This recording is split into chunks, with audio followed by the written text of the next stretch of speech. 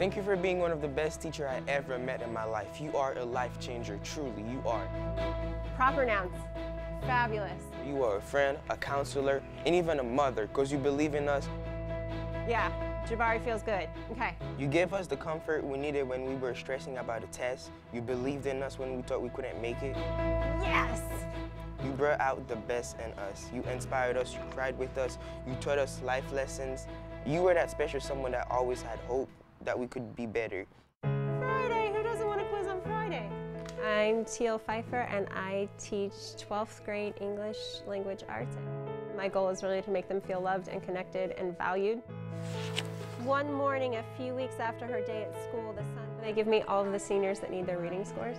This is not just get a good grade, this is are you gonna get to walk across that stage with a diploma or not? And I take that, I take it really seriously. Jonathan, give me one of your sentences that you picked.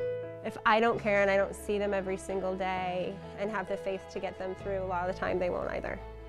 Last year the rates were really, really high. Actually, our school had its highest graduation rate ever this past year, which was awesome.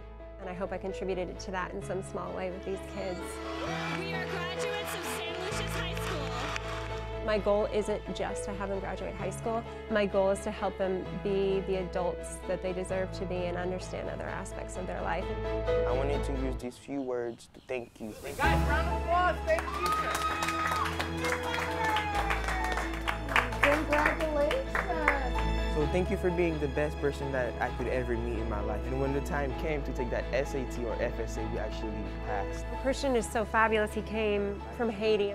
You are more than just a teacher, you're a mother. I remember he first came in and he was like, I don't know that I can do this. You brought out the best in us. To not only write something, but to write it and submit it and to read it with that kind of pride and good grammar. You poured out your heart so you could shape our mind.